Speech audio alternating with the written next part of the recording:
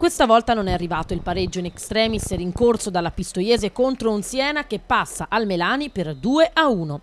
Si interrompe la striscia positiva della squadra di mister Indiani che è caduta contro i bianconeri, avversari che hanno dominato per tutto il primo tempo e hanno saputo gestire il vantaggio nel secondo, nonostante gli arancioni abbiano accorciato le distanze, ma la superiorità degli ospiti ha avuto la meglio.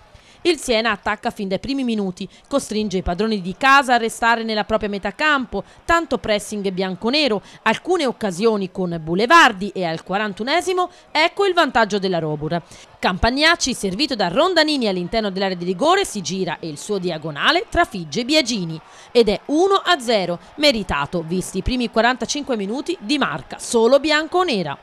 La Pistoiese soffre, Indiani nella ripresa pensa subito ad un cambio, inserisce Vrioni al posto di Tartaglione, un cambiamento tattico che non preoccupa la squadra di Mignani, che dopo appena due minuti raddoppia con la rete di Guberti, 2 a 0.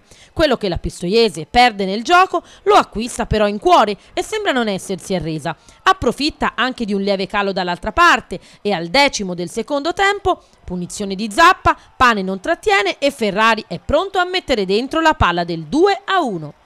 Al 58 un miracolo del portiere bianconero nega il gol del pari a Regoli.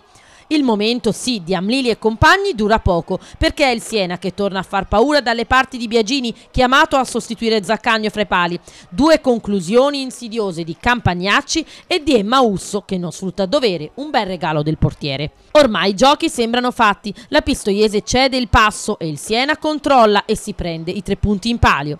I senesi si sono dimostrati superiori, sono la seconda forza del girone e si è visto. Troppo deboli i tentativi degli arancioni che inciampano nella terza sconfitta stagionale.